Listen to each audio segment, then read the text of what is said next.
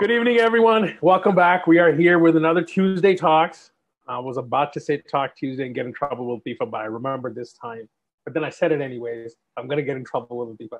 I know that's me. It's going to be uh, oh, one of these days, I guess I'm going to learn. So today, today I am so pleased to have three amazing people that I met a handful of months ago uh, through a program that we were all part of, and they are just up to like some very very cool stuff.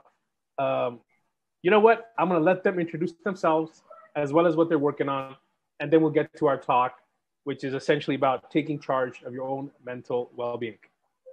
Any one of you guys, go ahead. Sure, I can get us started. Um, hi, everybody. It's um, really nice to be here. Ali and Latifa, thank you so much for, for this opportunity with Mental Health AE. Uh, my name is Hafsa, and I am one of the co founders of Peer Minded. I overlook program and outreach development. Um, and yeah, I recently graduated from New York University Abu Dhabi, um, where I studied social research and public policy and developed a very keen interest in public health, um, particularly when it comes to disabilities and mental health. And I'm currently researching um, disability policy and programs in, in the UAE. Um, I'll keep it at that. Um, but yeah, let Sarah and Anas introduce themselves. Hi, everybody. Um, I just wanted to thank Ali and Latifa for inviting us to be uh, here today on uh, Mental Health AE's Tuesday Talks. Uh, I think it's a wonderful initiative that sheds light on a lot of different uh, mental health uh, topics and uh, shedding light also on mental health initiatives in the UAE, which I think is really, really amazing. So thank you for that and for your kind words. Um, my name is Sarah Al-Ka'bi. I'm also a recent graduate from New York University Abu Dhabi, where I studied economics and I have a minor in music. Um, I've uh, developed my interest in mental health earlier on in, in life, I would say, uh, where I actually wrote my um, application essay on, on mental health um, reforms in, in, the UAE and issues that um, uh, people are facing. Um, so I think within that aspect, uh, that's how I got to be a co-founder as well, uh, alongside Hafsa and Anas of Peer Minded today.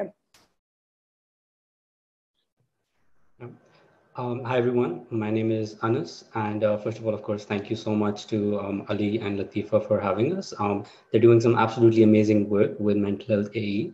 And it's really wonderful to always be in touch with them and talk to them about different things. Um, my name is Anas, and I'm a senior at NYU Abu Dhabi. Um, I am majoring in computer science, and um, along with Hafsa and Sarah, I'm one of the co-founders of Peer Minded, and currently I'm working on the technical development of our company.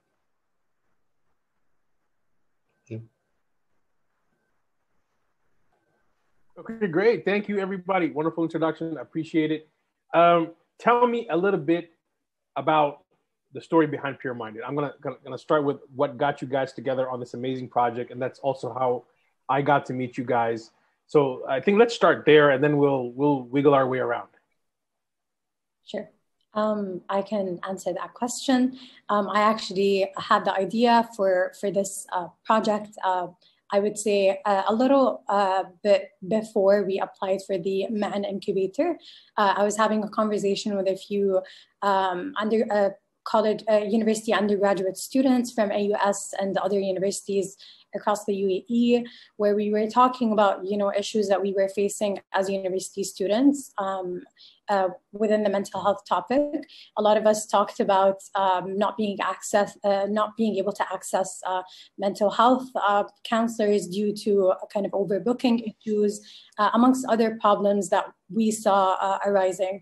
Um, we were also talking about uh, the alarming rates uh, of, that students are developing mental health um, disorders uh, at uh, when it, uh, within their academic experience because of different things like social pressures and social expectations and academic expectations as well, and having to balance out so much um, during a very uh, difficult transitional phase in, in our lives. Um, so the idea came about there. We were inspired by a student support group um, at uh, New York University Abu Dhabi. And I remember just opening up the conversation with Hafsa and telling her about, you know, w- what if we work on um, a, a a platform that actually uh, equips students with, with the knowledge and skill set to be able to help other students and facilitate conversations around mental health, much like what we have seen in our university. And she really loved the idea, and that's how um, we, you know, started uh, really discussing the uh, the idea and building on it. And thankfully, we got through with the and Social Incubator. And I think that's you know where the idea started building up more and more. Um, I think maybe Hafsa and Anas can talk more about what our platform does um, and the story behind building on it. Sure, yeah. I think before jumping into that, just to echo what Sarah said, um, a lot of what motivates us is this whole culture of um, peer support and support that we've gotten from our, our friends and classmates and um, you know roommates at university. Um, and that has come in different ways. It's not just for mental health or we don't always recognize it to come directly you know for our mental health but sometimes it's just about coursework. Sometimes it's just about you know adjusting to college or um, transitioning to a new city.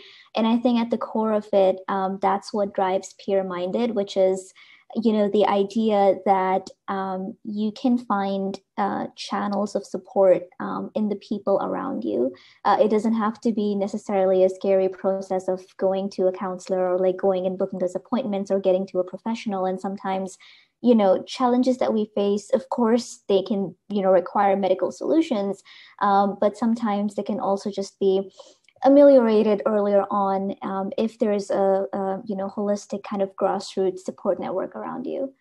Um, so yeah that's sort of the i suppose philosophy behind behind what we're trying to do here. Um, i'll let anas jump in maybe and ali if you have a question or not. I'll, I'll let anas jump I'm, in. I'm actually gonna i'm gonna interrupt you guys because you're gonna jump and tell me your solution. Not just yet not just yet. I want to get there in a minute. But before we get to the solution that you guys have come up with and then you know explain how peer minded works for all of us talk to me a little bit more about um, student wellness, uh, student mental health wellness uh, in that context. You know, I've looked at global data, but that data applies to everybody. What makes students different from the, the regular sample? I think I would say here, it, if you if you look at sort of the stage that we're all in at lives, it comes with a lot of transitions. Um, obviously, transitions are a part of life, no matter what stage you're in. But I think these are the particular so-called formative years, um, where for many of us um, here, at least at NYUAD, we're leaving home. Um, you know, we're traveling um, either anywhere between 30 minutes to 30 hours uh, from our home countries or our homes to come to campus. Um, and interacting with um, different identities interacting with um, different kinds of people. And all of that change can stimulate a lot of um, anxiety and, and a lot of uh, um, sort of questions around you know all these newfound feelings and ideas and viewpoints that you're interacting with um, it can be like a, a, typical term that all of us use, you know, for describing our college years is that it's a roller coaster, you know, all these ups and downs. Um, and at some point you realize that, you know, it, it might not be a bad idea to talk to other people about it.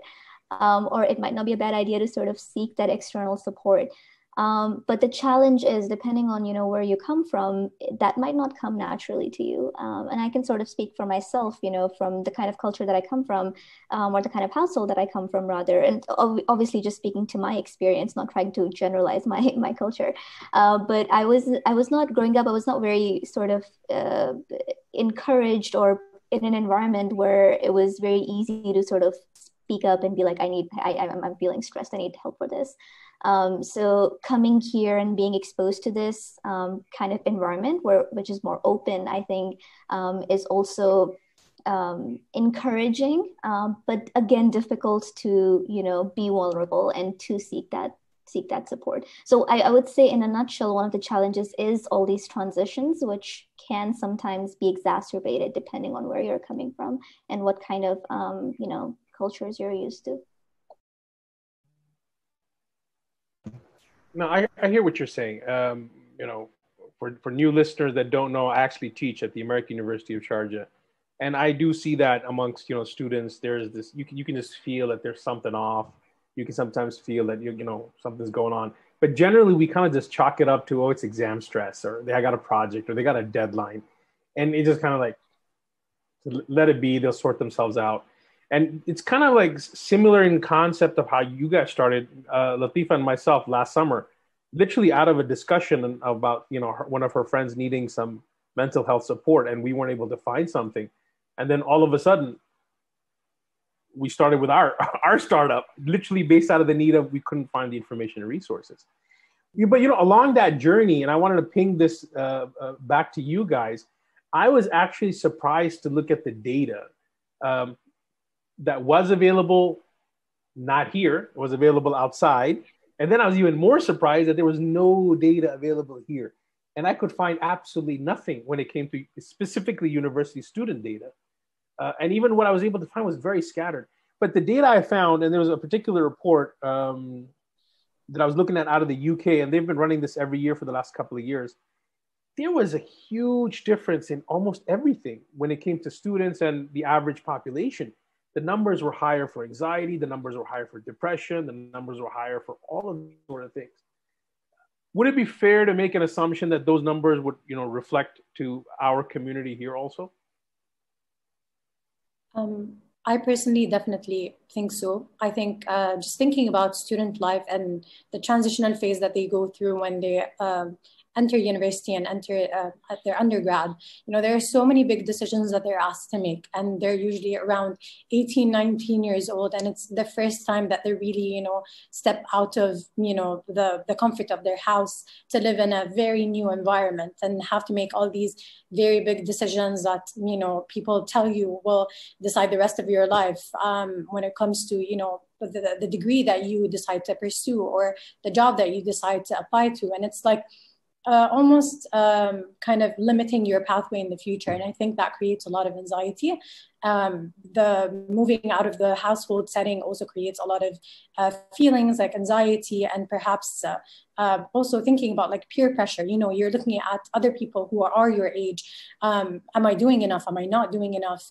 Um, you know, this person is doing like X amount of extracurriculars, I, I should be as well. Um, but you know, different people have different um, uh, kind of time commitments and different uh, responsibilities on their shoulders and uh, different capabilities as well, uh, emotional and and uh, emotional capabilities as well. And not everyone can, you know, at the end of the day, like balance a thousand things all at once. Um, but it, it gets really difficult for students when they see other people doing a thousand things all, all at once and um, challenging these notions um, that society has. And I think within the UAE specifically, there is a huge leap uh, that a lot of students have to, to go through and they have to think about a lot of social expectations amongst uh, and balancing out you know family with with um, academics and it becomes really intense uh, and i think from my experience um, it's, it's been uh, very hard you know there's always the i versus we um, and there's always, you know, we're moving towards more of an individualistic, I would say, community or culture, which is, um, I, I think, not taken very lightly by society because at the end of the day, right now we are living in a collectivist society and it becomes difficult to want to prioritize your academics and yourself um, and, you know, move out and like study abroad and, and those things. Um, I certainly did have my own challenges when it came to challenge uh, when, when it came to wanting to study abroad and moving away from my family setting and pursuing my academics um, and it was taken by some people like oh but you're leaving your family responsibilities and you're you're running away from family but it wasn't that uh, you know and i think a lot of uh, it's not just specific to the uae context for sure. Um, I, am i've met so many people uh, during my time in university that also spoke of the same issues. Um, so i think it's it's moving away from the family sort of household to really starting your own life that builds a lot of these negative emotions that could develop into mental health conditions um, um, sometimes even long-term mental health conditions. Um, so it does become a huge problem for a lot of university students. In, in the last year, I've spoken to hundreds and hundreds of people, you know, surrounding this topic. And, you know, a lot of, a lot of discussions and themes seem to be similar and, and very repetitive across a, a lot of different people that I've spoken to. Uh, and you know, you know, you brought up one of the things, and this is about our society and our family and our culture. you know, and this, I'm not saying UAE, I'm saying this part of the world, big chunk of the world where we are, this region actually, there is still a lot of stigma surrounding having that type of discussion. There's, there's, there's the, uh, you know, and somebody was mentioning the chat, you know, be tough, get it together, keep it together. What's the problem? If that person can do it, you can do it type of. So there's that kind of like, I'm going to say toxic enforcement. It's not really quality reinforcement. It's a very toxic type of reinforcement. But do you feel that there is a shift happening uh, amongst you know um, i'm not I'm, I'm the wrong person to speak to this uh, you know you guys are the generation at the moment who are in college who are experiencing life do you feel there's a shift happening in that or or are we at the beginning of it or we still got to kind of you know kick some doors down to make it happen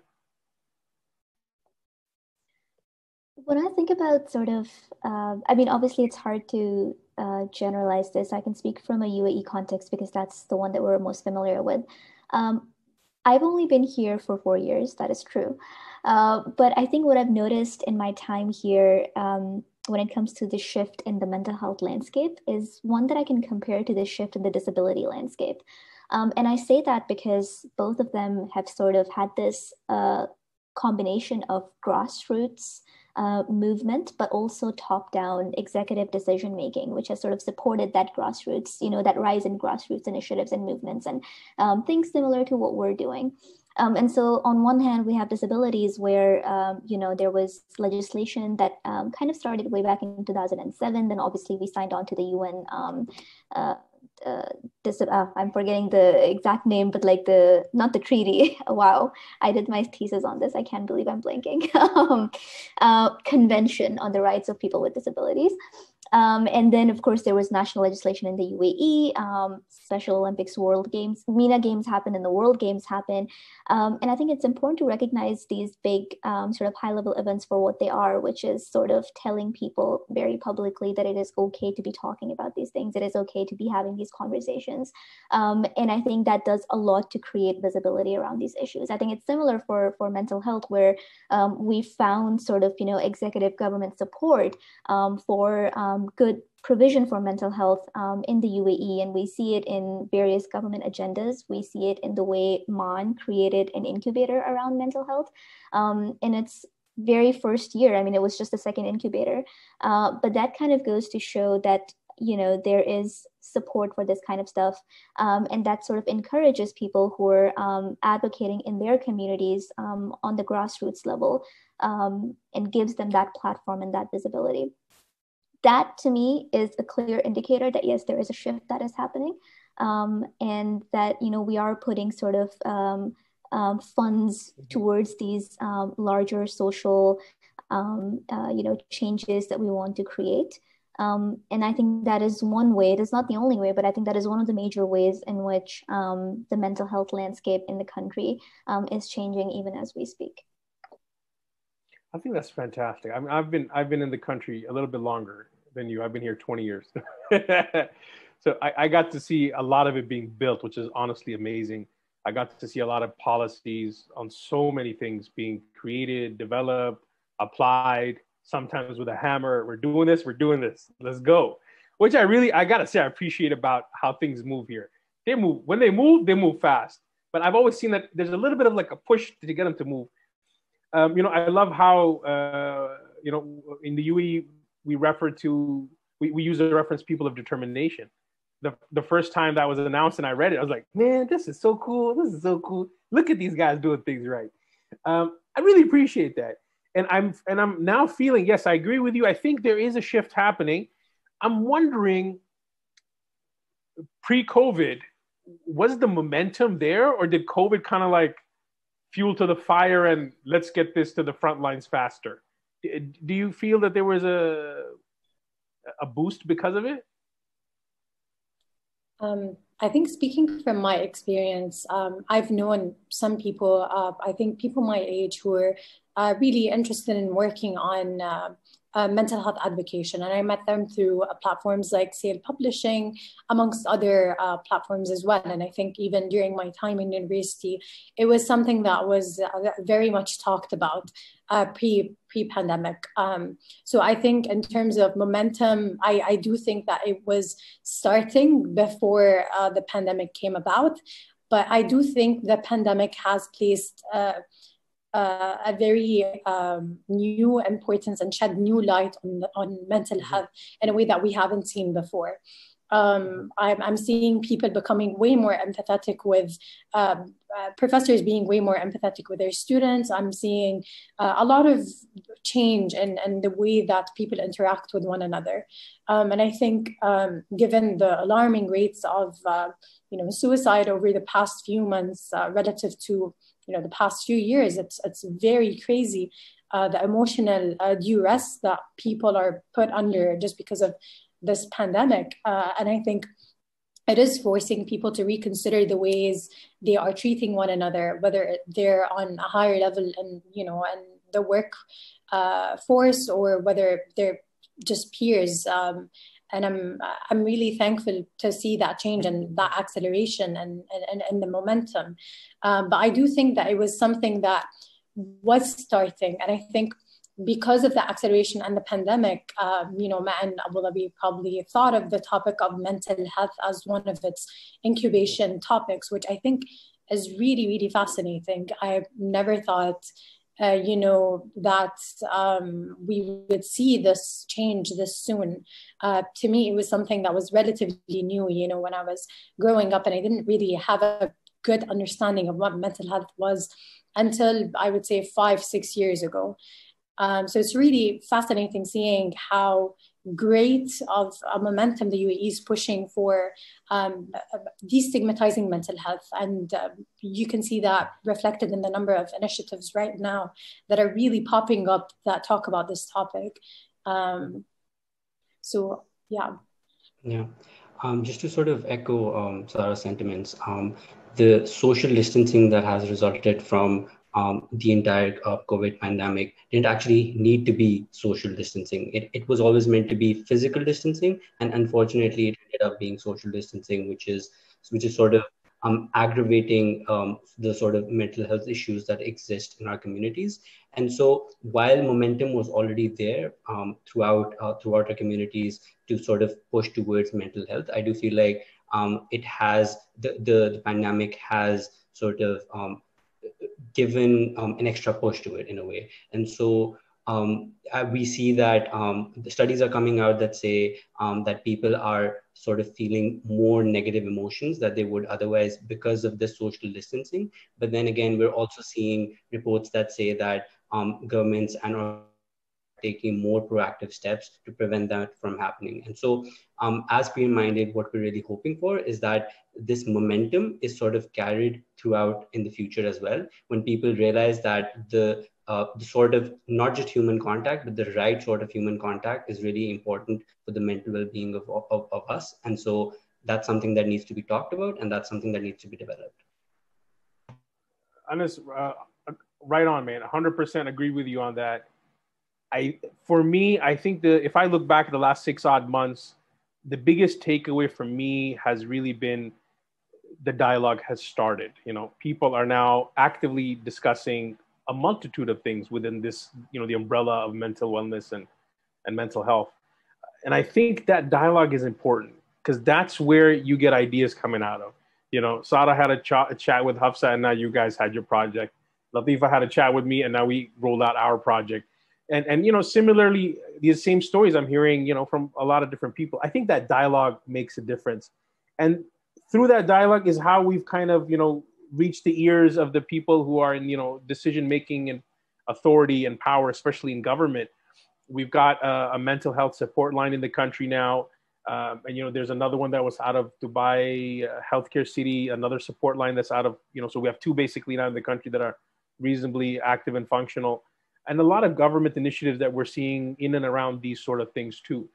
Um, I want to kind of bring it back. We know we know already, you know, from our discussion that we've had so far, we know that the the university or the college student bracket that you know that 18 to 22 that's a tough spot it is it is and the global numbers speak to it uh, and and you know i think if anything for us being in this part of the world and the stigma associated with talking about it just just multiplies it um, talk to me about what you guys have come up with. Tell me how does peer minded work?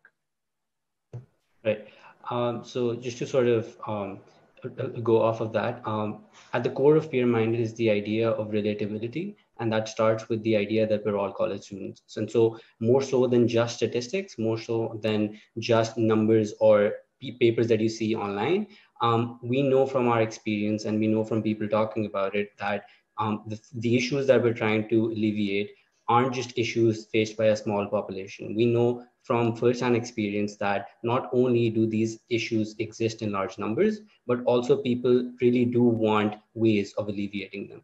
And so that peer-minded comes in, and at the core of it, um, the idea is that sometimes you just don't need um, like a counselor at that exact moment. Sometimes all you need is a person who's willing to listen and who's um, able enough to talk to you at that point and so that's uh, the core idea of peer minded. And i like um, sarah and hafsa talk more about that.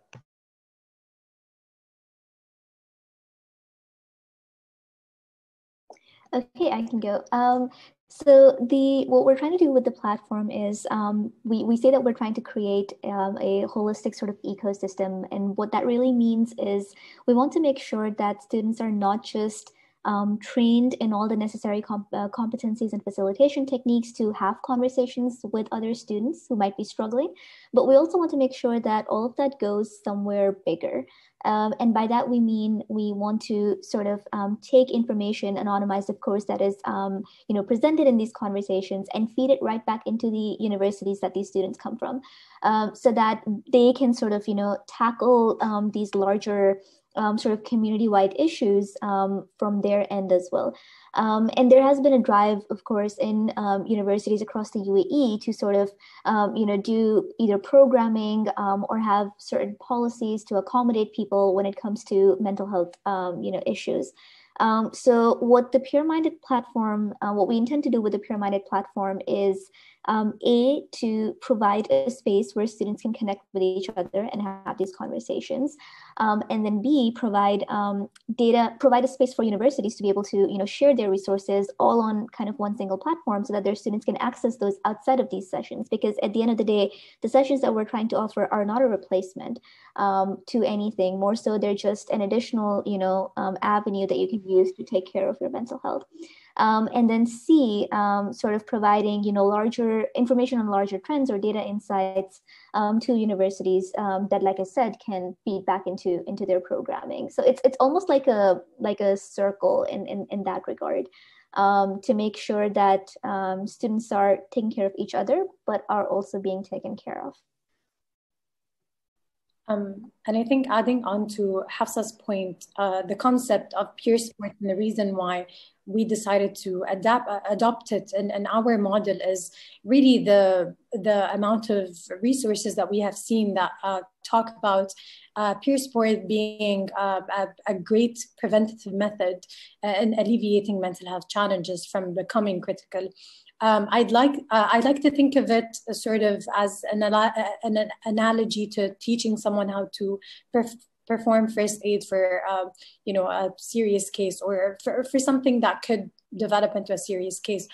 Uh, it's like teaching someone in um, like how to perform uh, first aid uh, in a way that it could prevent the, the problem from escalating further.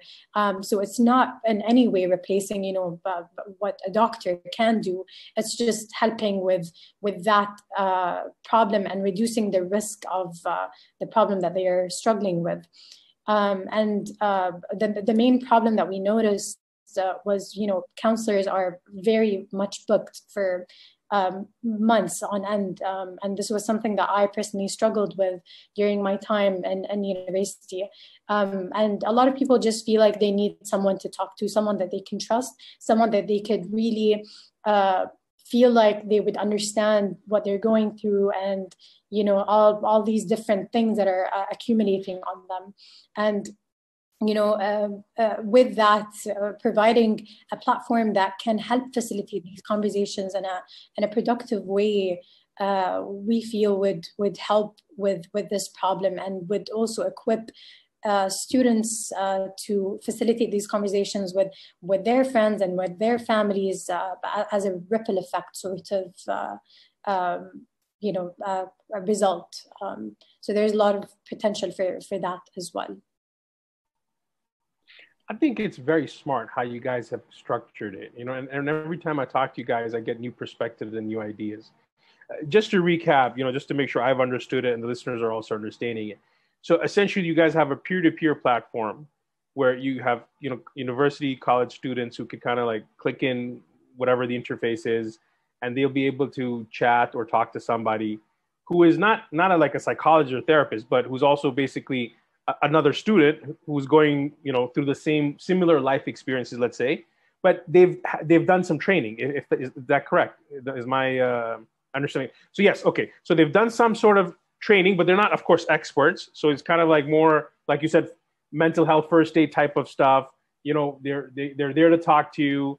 And then if if it's something more serious then they're in the position to tell you hey it, you need to speak to a professional this needs to be escalated but you know it's it's the reason I love this model, I'm going to be straight up honest with you, is a lot of people don't understand that mental health is a continuum. It's not a, you know, you, you're okay, you're crazy. It, it doesn't work that way. And, oh, you're having a trauma, oh, you must be crazy. No, it's not that. It's, you know, like you said, oh, I'm just having like a bad day, you know, or there's something serious, you know, or they're like, man, I've had a bad day for too many days in a row. So, you know, if you look at it as a spectrum, as a continuum, you realize that a lot of people are on the you know the green side and they're just kind of touching into the, the, the yellows and the oranges and some are getting into the red. And not everybody needs to immediately go and you know jump to treatment options and medication whatever. A lot of it just starts with having a conversation you know and having somebody to talk to every wednesday we have wellness circle and it literally came out of people asking us hey man we just want a place to talk and for me i was like talk to your friends, man. What do you mean place to talk? But out of conversation, I realized that they're not comfortable talking about these topics. They want to come to a place where they know that it's okay to talk about these topics. So it's it's preset as a safe space. So I love how you guys are essentially creating these little safe spaces for students to talk to peers who have a little bit of training, a little bit of understanding of what's going on, who could provide the support that they need in that moment. And, you know, like you said, uh, way more readily accessible than, for example, the counselors. And I know uh, every university is either does not have them or has too few of them. That's legit for sure. I mean, we've got three for 6,000 faculty, staff, and students. So that's just numbers are wrong. Um, talk to me a little bit about where you guys are on your timeline. Are we uh, ready to access, about to access? And if you're a university administrator listening in, how can we get you to get onto the platform? Uh, before we do that, I think just one quick comment that I wanted to make on um, your sort of uh, you know notion of the continuum that mental health is sort of um, spread across, and I think from personal experience, you know, being in the yellow zone or slightly darker yellow zone and not necessarily being in that red zone can sometimes also elicit this feeling of guilt if you try to approach those resources which are already so so scarce in nature because you always think well what if somebody needs it more than i do um, you know and it's we already know that these appointments are so hard to get. Maybe i should just leave that slot for somebody who is in more critical need of this. And i think that is the exact population that we're targeting. Uh, we're not we're not necessarily targeting people who have critical conditions that absolutely need that kind of professional support or even medication uh, but people who you know are in that yellow zone and they just need somebody to talk to who can relate and who can sort of facilitate a good conversation and then they'll go back to being in the green zone. And then maybe the next day they're in the yellow zone again. Who knows? We'll see. But like it's it's it's those people and kind of normalizing taking care of your health you know even when you're in that zone and prevent it from getting to that critical critical red zone. Um, yeah i just i just wanted to jump in and say that and i'll, I'll leave sort of sarah and Anas to talk about the timeline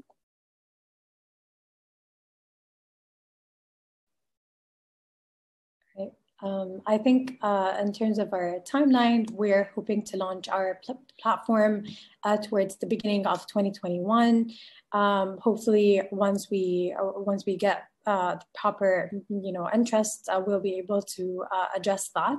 Um, we're currently recruiting our we're actually looking into uh, recruiting our very first intern, which is uh, very exciting, and we're really looking forward to it. Um, and we're hoping to start um, marketing what we're doing and uh, what our platform does within the next few months, and really just shedding light on our initiative and um, what we hope to do, and you know, do more of these talks. Uh, I would say with with uh, more uh, startups that deal with uh, shedding light on mental health um, as well. Uh, so I would say beginning of 2021, hopefully we'll we'll be launching our platform. Maybe Anas can talk more about that. Yeah. Uh, so just to quickly add to that, um, so the, the final platform, we envision it to launch in January 21. Um, however, um, we do in the next um, in the next few months, we do plan on what launching sort of a beta version, which would not necessarily have all the bells and whistles of the final finished product, but it would sort of give us a more uh, in-depth um, insight into what exactly needs to be on the platform itself. And so we're doing this in conjunction with market research and surveys with universities as well, because of course, um, what we're trying to do with the platform is to take a three-pronged approach. Not only do we intend to help the people who are being talked to, not only do we intend to educate the general um, student body by uh, recruiting peer supporters and giving them these curriculum uh, trainings, we also intend to be able to provide universities with the information they need to be able to provide better services. Like how would a university know which areas or what which topics they need to prioritize if they um, if they have like no overall information or no general trend of what's going on. Of course, um, and under no circumstances would we think about um, sort of being more granular, but as a whole, um, we intend to be able to communicate with universities and help them make their services better as well. Anas, you led me to a very interesting point, and I was I was thinking about this a little earlier. Um, for universities who don't have something set up, for universities who uh, I could name names, but I'll, I'll be nice, who, who don't who are not bothered to look at it. They're like, if we don't look at it, the problem doesn't exist. Let's just keep looking over here, right?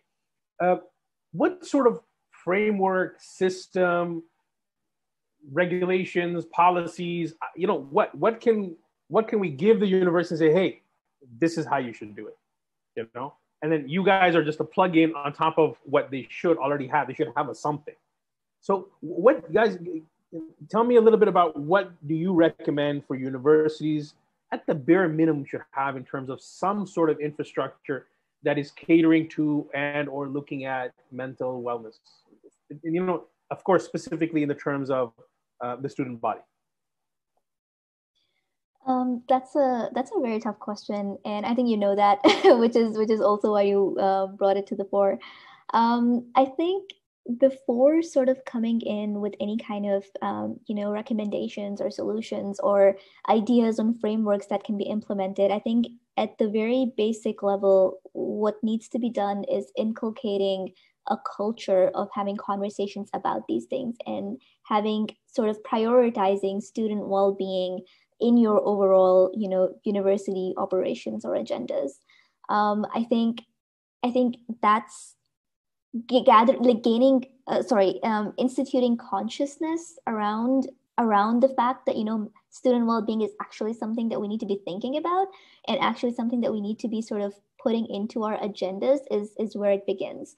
Um, whether we as peer-minded can do that that's that's a bit questionable uh, but overall i think my recommendation would be um, from my experience as a student of course not not coming in from like a high level administrative perspective but as a student i would sort of want if my university is does not already have programming and infrastructure in place um, i would sort of want them to uh, start having conversations and asking me about what it means for me to you know be functioning at my fullest uh, being mentally you know at my 100% um, and understanding sort of what my grievances are and what my needs are um, before working on um, you know a university specific uh, solution to that. I don't think the answer is just putting three counselors in your school without necessarily creating you know an environment where people would actually be going out and seeking those counselors without creating an environment where you're encouraging students to seek those resources. Um, so the first step i would say would be to inculcate that consciousness which is a very hard first step to take don't get me wrong um, but if there's no consciousness your infrastructure and your solutions won't really do any good. Then you're just sort of you know putting a check mark against some metrics that you're trying to evaluate yourself against but they don't go deeper than that. That's very well said. And you kind of you know hit, hit the nail on the head rightfully so. A lot of places are just doing it to put that little tick mark and say yeah we got this. And you know we got this. And there's real no measure um, and I can give you an example myself. Uh, when I got into this, you know, the whole mental uh, health thing, and, and, I asked my students, I'm like, guys, uh, we have counselors on campus. How many of you know about it? And out of a class of 25, on average, two students raised their hand. And I asked this question four sections across two semesters. So that's 200 students I asked. And the answer on average was two out of 25. And the other ones were like, what? We have counselors. And I was like, oh my God. So I think the dialogue, and we were talking about the dialogue earlier, I'm going to bring it back again. I think that dialogue needs to be started at the students. And, and you know, I think if we take it, and I agree with you, if we directly go to administration, they'll just take a box. But if we start that conversation in the student body and it kind of organically goes and say, hey, we want a place where we can sit and have a chat about these things. Hey, we want to have resources that can help us with these sort of things. Hey, you know, we want to have a discussion about uh, how you guys, I'm pointing at me and the administrators now, don't organize yourselves enough and give us 20 exams in one week and then nothing the three weeks after. Why can't you spread them out? I mean, do some math. Come on. I think it's very right to start that conversation at the student level. I think because of COVID, we got that boost and everybody's talking about it. And, and you know, uh, you young guys are in it and have started that dialogue and it's kind of like it's it's becoming very viral in how this conversation is happening in a lot of places and in a lot of different student circles. I think that's a fantastic, fantastic point to start. And, and hopefully we can push the administration of you know all these multitude of universities to say, look, we've got solutions for you. You just need to kind of get on board with the idea. And I think then it's going to be, you know, the upward slope becomes the downward slope, and then things become easier. Uh, guys, oh, I'm open. Sorry. Ooh, no, no, go oh, ahead, yeah, go I just wanted to quickly jump in and make a very quick acknowledgement, um, if I guess you could call it that, which is that um, oftentimes I've seen, you know, um, students are students are so passionate about collecting and organizing, and you know, all these grassroots movements um, across various sectors of life but I guess it's also important to just acknowledge sometimes how draining that can be and how much that can how much energy that can take away from you to keep having these mm-hmm. conversations over and over and over again against what seems like a block of you know concrete um, and so mm-hmm. that should not stop anyone from doing that and if you're a student at a university or you want to create this kind of change i think you should absolutely go for it but i think there's no um, no one should ever feel guilty to take out time away from that advocacy and take care of themselves um, and take the space that mm-hmm. they need um, just because so much energy can be spent and mm-hmm. while i don't have experience advocating to this level for mental health in my university there are other areas where i have advocated as a student um, to the administrators um, who have been so resistant for better or for mm-hmm. worse to that kind of change um, and so that i've yeah so it's just just to say that take care of yourselves before you advocate yep for the university to take care of everybody. Uh, I, I back you on that 100%. You're right. You yourself are the first priority. You can't burn yourself out to do something else as an initiative. I agree with you. And every you know, every time I talk to students, you know, and they're complaining about something, and I and I quietly, patiently listen to the complaint. I'm like, okay, what's what's the issue? What's the trouble? What's the drama going on? Oh, sir, this is happening. Oh, sir, that's happening. Uh, and I'm like, okay, what have you done about it? Oh, I didn't do anything. Why not? Because nothing's gonna happen. I'm like, with that attitude, nothing ever will happen. But I'm just one person. And I said, look, if you if my door is closed and you knock on it, I might hear it, I might not hear it. But if two people are knocking on it, if 20 people are knocking on my door, if 200 people are knocking on my door, that door is coming down, whether I like it or not. So, and, and, I'm, and, and I and I always tell my students, you guys not only have the power, you just don't realize that you don't have the power. You have the power, you have the numbers, and my goodness, you have social networking. I didn't have that when I was when I was young.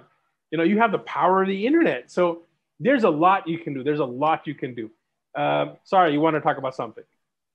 Yes. Uh, so I think when it comes to mental health, you know, just having general dinner table conversations with with your family, like I think that can also make a very big difference. And you know, starting at home is the way to go about it. I I, I think when when it comes to really um, wanting to make a change, um, whether you prefer to do that you know, starting at the dinner table or uh, looking into other uh, platforms that, that you could advocate on. And as you mentioned like social media is a very powerful tool tool nowadays. Like um, one post can really make a big difference. And reposting content that you know uh, destigmatizes mental health uh, conditions and um, the uh, abuse of uh, of words tied to mental health conditions and um, really uh, tearing uh, or taking value away from um, from the extent of uh, the the issues that people are struggling with you know abusing terms like nafsiya and like other terms where you're using um, mental health conditions as a way to um, kind of make people feel bad and say something negative about them. I think just starting from there can make a very big difference.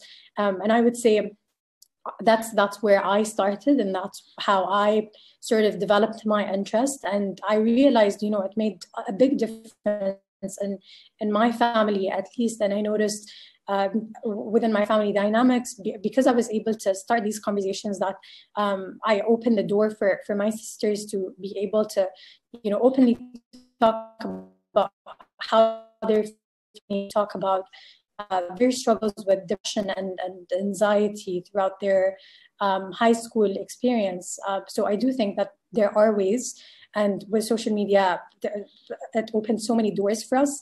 Um, and there, I think when it comes to universities uh, trying to implement change for, for students, there are two ways to go about it. I think there's the student population who are struggling with mental health, um, and in targeting that, um, I, I, do believe that they should be given the, the required academic accommodations to help them, you know, uh, be on an equal footing to, to other students.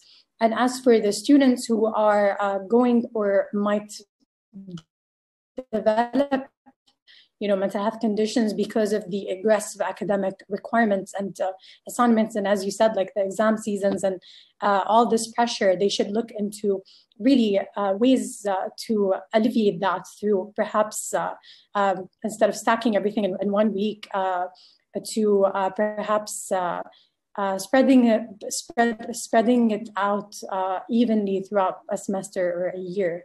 Um, so there are a lot of different ways, and I think just having a conversation is where everything starts at the end of the day. Um, and you know whether it's at a dinner table or with uh, university leadership, um, I, I think I think that's the main instigator for change.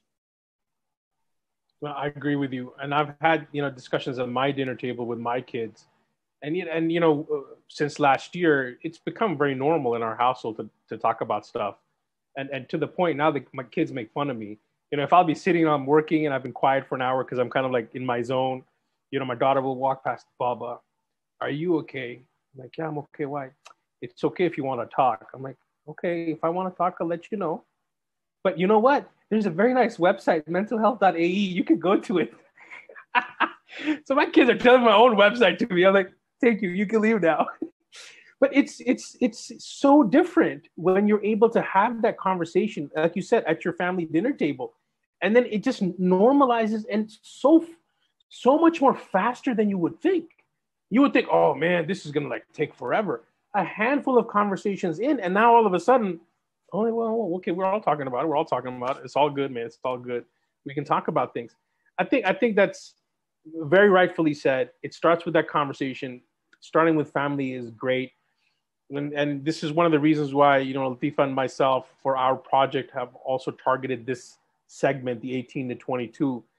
because as young college students, you're in a position to understand things and talk to your parents about them. And at the same time, you can be the champion for your younger siblings who aren't able to articulate or might not, you know, find themselves brave enough to bring this discussion forward. Or even if they are, the, the parents might not take them seriously. They're like, you're just a kid. What do you know about feeling depressed or whatever the case is?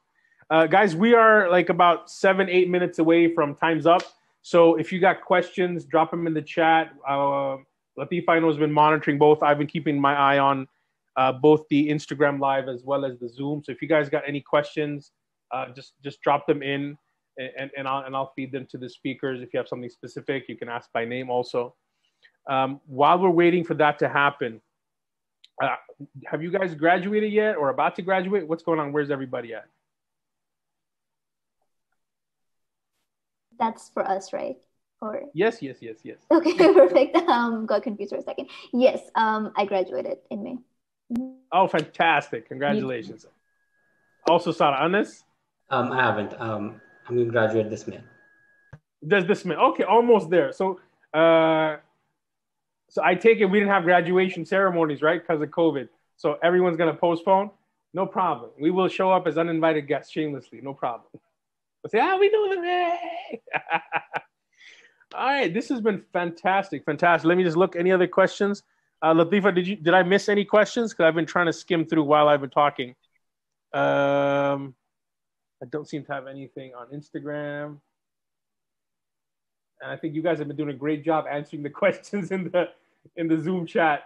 As yeah, is. we've been active. We've been active. Uh, but I guess one thing that I could say is that um, we're looking to launch our MVP soon, and Anas described earlier what it's like. But you can mm-hmm. sort of um, keep an eye out on our socials and on our website. Um, and if you're a university student, you are more than welcome to kind of jump in, sign up for a session, and try out for yourself what Peer-Minded is all about.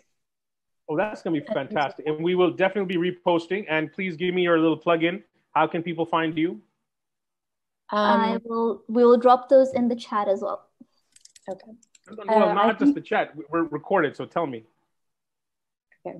Um, I, can, I, can, also add uh, that we're uh, looking to open new internship positions for students Excellent. who are interested in, in, helping out with, with peer minded. So keep an eye out on our Instagram and our website uh, for updates. Which is? I'm putting it down right now. It's peer minded. No, at peer minded. Um, at peer minded. Peerminded.com. Peer slash minded.com. Okay, peer dash minded.com. Fantastic. That's the website and at Peer Minded, one word, no space, uh, for the Instagram, correct? Yes. Okay, that's fantastic. All right, guys, last chance. Any questions? Um, oh, I think I saw one earlier from Budur, if I'm pronouncing that right. Sure, sure. Uh, the question was, how do you guys were coping with stress during study at university and any tips that you can share? Um, that's a big one. And I think I'll try and keep it short. I know we're running out of time, but I think one thing to acknowledge here is that nobody always gets it right. Um, and it's it, it takes so many trials and errors to figure out what works for you and what does not.